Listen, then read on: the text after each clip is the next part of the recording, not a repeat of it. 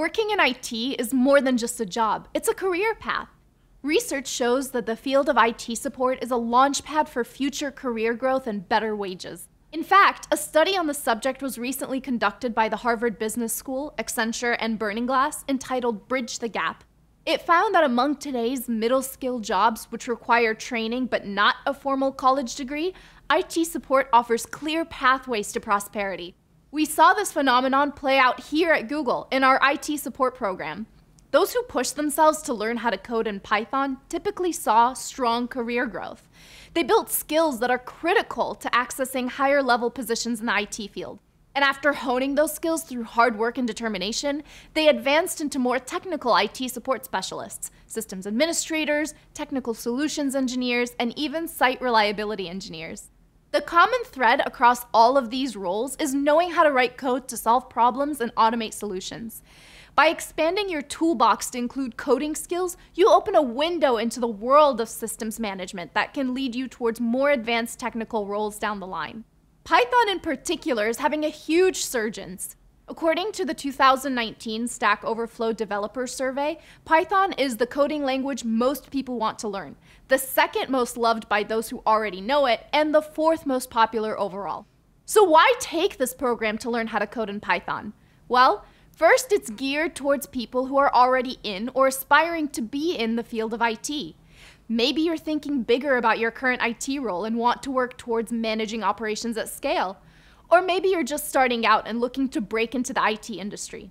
Perhaps you've taken our IT Support Professional Certificate program on Coursera already.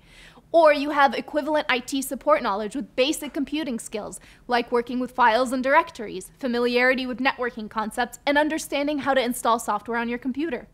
In any case, this program is tailor made for you. Second, this program offers three hands on methods of teaching coding in Python and automation. CodeBlocks, Jupyter Notebooks, and Qwiklabs. And third, we've assembled an awesome group of Googlers who will serve as your instructors in each course.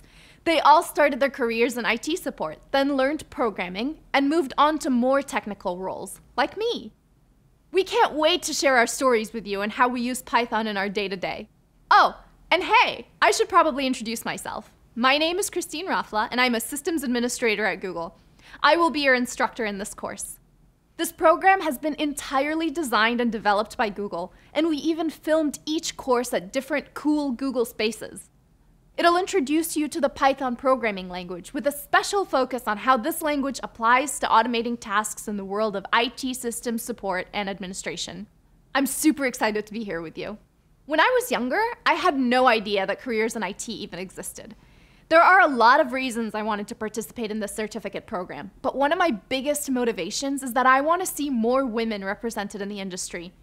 I remember going to a system administration summit where there were hundreds of men and about three women that were sysadmins. A lot has changed since then, but there's still so much we can do to bring new ideas and representation into the IT field. That's why I want to share my knowledge with as many people as possible. I love my job and I love the people I work with because they make it easy to ask for help and offer their guidance. This type of support network allows our team and ultimately our industry to be more successful. I understand from experience that it can feel pretty intimidating and maybe even a bit scary to learn a coding language. Just remember, everyone started where you are right now, with the first command, the first script, and of course the first of many errors. When I started out in my career, I strived to get everything perfectly right the first time I tried it, but that actually slowed down my progress. So don't be afraid to make mistakes. It will give you a leg up. So let's get down to it. What's ahead? The program begins with a crash course in Python where you will learn to write simple programs and understand their role in automation. Next, we'll get more hands-on focus on how Python interacts with the operating system. After that, we'll cover how to use Git and GitHub to manage versions of your code. Then, we will focus on troubleshooting and debugging techniques to find and solve the root cause of problems in IT infrastructure. The next course covers automating at scale, where you will learn to deploy configuration management on a fleet of either physical or virtual machines running in the cloud.